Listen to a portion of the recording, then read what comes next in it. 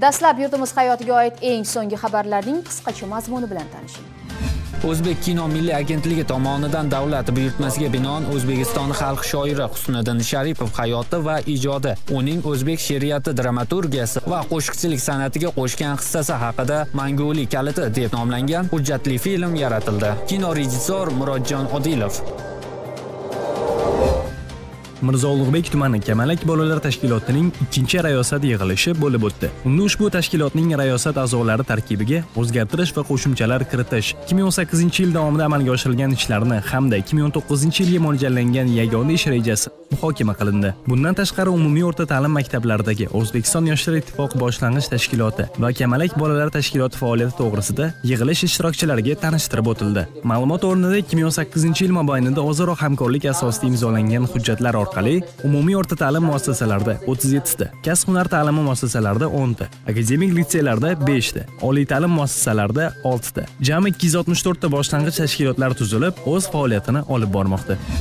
O'zbekiston respublikasi prezidentining 2018 yil 24 dekabrdagi jamoat xavfsizligini ta'minlash samaradorligini oshirish bo'yicha qo'shimcha chora tadbirlar to'g'risidagi qarorining 8 bandida 2019 yilning 1 yanvar kunidan boshlab o'zbekiston respublikasi hududlari va jamoat xavfsizligini ta'minlash sohasidagi davlat organlari tashkilotlar va jamoatchilik tuzilmalarining faoliyatini tashkil etilishi va muvofiqlashtirilishini ta'minlash uchun o'zbekiston respublikasi milliy gvardiyasi qo'mondoniga andijon namangan namangan va farg'ona viloyatlari shuningdek toshkent shahrining olmazor tumani biriktirilgan.